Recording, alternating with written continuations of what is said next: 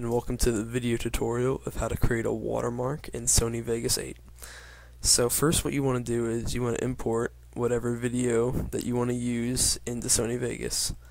So I made a little video clip of me clicking around a website called lockoutgaming.net and now that I have my video I want to put a watermark on it and a, what a watermark is is it's a little transparent logo in the corner of the screen and it prevents your video from being stolen.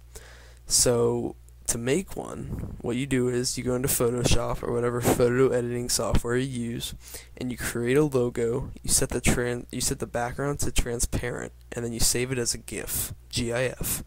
Now that you've done that, you right click here, insert video track, and then you take your watermark and drag it in. But now, the watermark only appears on certain spots in the video, so you want to take the corner of it and drag it out. So now it appears in every single spot.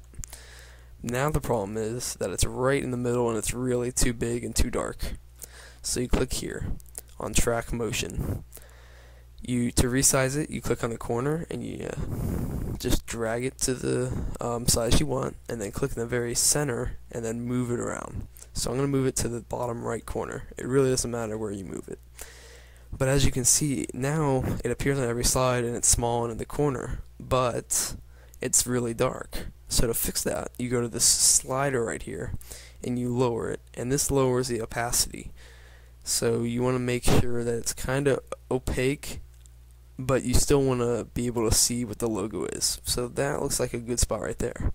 Then once you've done that, you render your video and you upload it and you're done. So make sure you, you visit lockoutgaming.net, and I hope you enjoyed the video.